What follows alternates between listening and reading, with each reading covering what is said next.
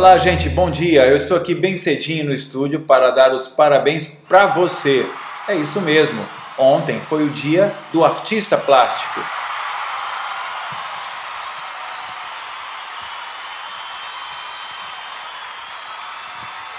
E mesmo se você não se considera um artista ou apenas um apreciador, saiba que, pela minha posição, a posição de Van José, eu considero você um artista. Eu diria que o artista mais importante. Por quê? Se um escultor faz uma escultura belíssima, por exemplo, como Michelangelo, um cachorro consegue olhar e ver uma escultura? Não, ele levanta a patinha, faz pipi e ainda vai sai correndo. Ou seja, ele não tem a visão artística de conceber que aquela escultura é uma obra de arte. Assim sendo, se os artistas forem, fossem plenos, ele conseguiria influenciar até o próprio cachorro e dizer: Isso é uma obra de arte. Agora imagina se todos fossem cachorros só assistissem um artista. Eles não conseguiriam observar e ver a obra de arte. Olhariam e achariam que é uma pedra ali. Então fariam pipi e fariam sair fora. Ou seja, para mim a arte está nos olhos de quem vê e não de quem faz a arte. Para, quem, para mim, quem faz a arte é apenas um dos veículos de se manifestar a arte. Então, o artista seria um dos veículos em que a grande obra, em que a grande criação se manifesta. Mas, se não existissem artistas, nós poderíamos nos encantar com a obra-prima, a obra que já está. Olhe-se no espelho, por exemplo. Você já é uma obra-prima. Nem que eu pegasse e fizesse uma escultura perfeita, com poros, pelos, que ela se mexesse, que ela fosse capaz de é, ter temperatura na pele, pele ela não seria uma escultura perfeita como você, que é capaz de amar, que é capaz de ter filhos, que é capaz de crescer, se desenvolver, que é pra, capaz de levar amor e arte para as pessoas. Então, eu, como artista, eu diria que o artista é um ilusionista. Ele cria uma ilusão que dá a ideia para as pessoas que ainda não conseguem perceber a, a arte na sua profundidade, de que você é um, um cara diferente, que nós somos caras diferentes mas a obra perfeita já foi feita. Nós damos uma releitura, nós damos uma revisão. Então, se a gente desenha um rosto, um animal, se a gente faz uma combinação, se a gente fala dos egos, combinando imagens que dão ideias, isso são o quê? São transformações para dar um sentido, mas a obra perfeita já está plena. Vamos falar um pouco sobre o Dia do Artista Plástico. Ele foi em homenagem a um grande artista brasileiro José Ferraz de Almeida Júnior, e que ele, você pode ver a obra dele, é maravilhoso o trabalho dele. Incrível a qualidade técnica e como ele era capaz de expressar as realidades tanto das pessoas mais sofridas e humildes, mostrando o nosso povo, quanto também mostrar a realidade da nobreza da época.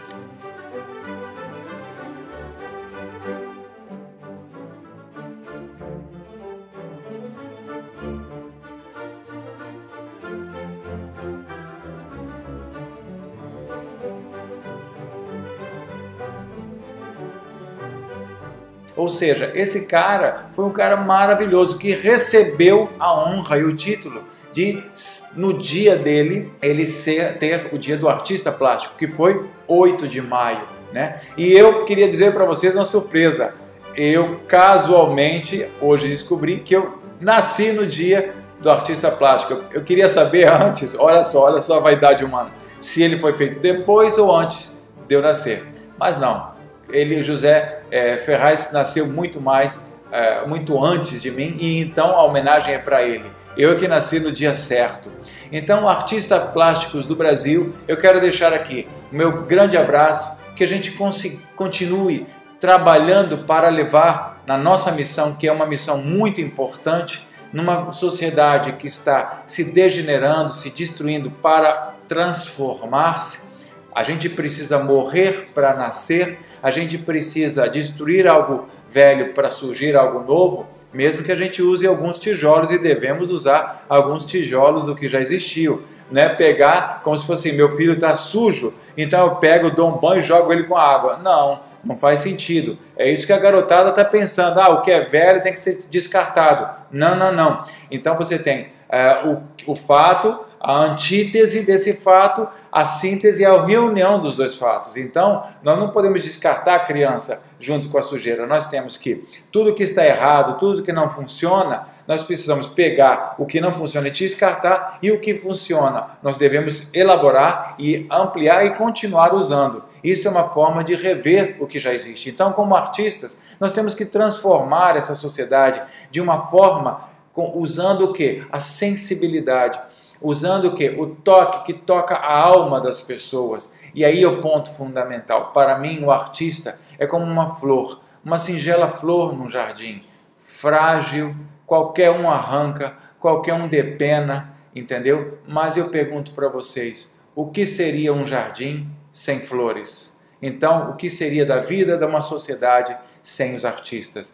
Engraçado que os artistas lá na formação inicial, eles não eram tratados como pessoas especiais. Eram trabalhadores, como você tem o carpinteiro, você tem o marceneiro, você tem o pedreiro, você tinha o artista, que se desenvolvia, era pago, era alguém, logicamente, que tinha uma sensibilidade, uma intuição. Só muito depois né, é, da, da sociedade egípcia, da sociedade asteca, que os artistas começaram a ser vistos como alguém especial que se conecta com o mundo invisível. Por quê? Porque a humanidade então ela se elaborou, ela cresceu, ela se desenvolveu, saiu daquela posição de cachorro que faz xixi na escultura e começou a se encantar com o belo. Né? Então, a retomada do belo, ou seja, nós temos que apontar novamente para o belo para que as pessoas possam se sensibilizar. E quando elas se sensibilizam, elas começam a querer construir algo melhor. Quem está rude, quem está é, radical, quem está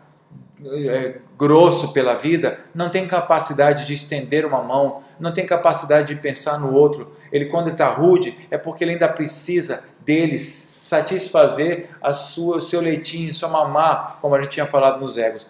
Quando ele começa a se sensibilizar e olhar para o lado e ver que existem seres humanos como ele, ele começa então a desenvolver a capacidade de querer ajudar e então dar uma utilidade real à sua vida, que não é simplesmente comer, mas sim levar o alimento, o alimento necessário à sociedade. Então nós artistas temos uma função maravilhosa, que é retomada do belo na consciência humana, é trazer novamente o belo para que toda uma sociedade possa se reencantar, se sensibilizar, voltar a olhar para o lado e parar de como essa sociedade está fazendo, nos transformando em pessoas cada vez mais egoístas, cada vez mais olhando para dentro, nos celulares, digitando aquele mundo que eu mostro só o que eu quero mostrar, tiro a foto perfeita, eu tiro, mostro que eu estou aqui no lugar dizendo que eu estou com minha esposa, minha namorada, sei lá o quê, ou então e, com, e mostrando para as pessoas o que eu quero mostrar e no fundo, no fundo eu estou frustrado, sofrendo. Ou seja, esses instrumentos estão cada vez mais nos individualizando em vez da gente se coletivizar. Ou seja, é, a gente tem que agora pegar tudo isso e retransformar. Como? Esse é o papel do artista. Mostrar em imagens o que, que houve de ruptura, o que, que é o belo, o que, que é bom. Então o convite está aí a você. Junte-se ao movimento artístico que eu estou propondo, que o Brasil está propondo, e vamos fazer um país, vamos fazer uma sociedade, vamos fazer um planeta melhor. Você já tinha sido alertado de que um artista também é aquele que olha e se encanta com a arte, que não fez nenhuma obra de arte? O que, que você achou disso? Comenta, fala comigo, eu quero entender você. Deixe seu like, seu gostei aqui para dar aquela força para o canal. Compartilhe esse vídeo com seus amigos nas suas mídias sociais, pegando o link na setinha e levando lá para o Facebook, para o WhatsApp, manda coisa boa para o WhatsApp, inscreva-se no nosso canal, quem não for inscrito. E principalmente, ative a sinetinha. Quando você clica uma vez, ela ativa. Quando você clica duas vezes, aparece as aspas. Aí você vai receber, todos os vídeos da Hip Studio. Aquele abraço e até mais!